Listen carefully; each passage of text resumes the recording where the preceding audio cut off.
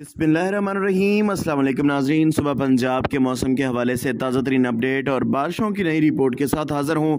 मौजूदा सिस्टम पंजाब के मुख्तलिफ़ इलाकों में वक्फे वक्फे के साथ बारिशों का सबब बन रहा है। अगले तीन रोज़ के दौरान पंजाब के मुख्तलिफ़ इलाकों में बारिशों का सिलसिला इसी तरह जारी रहेगा।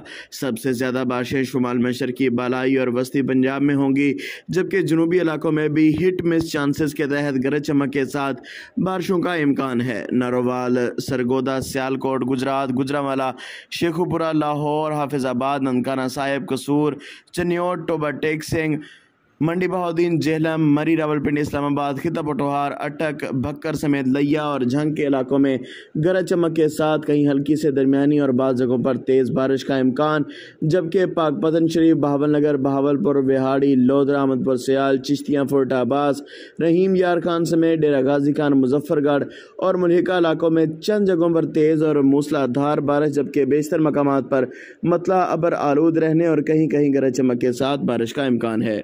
हाजिर होंगे नई रिपोर्ट के साथ। इजाज़त दीजिए अल्लाह हाफिज़।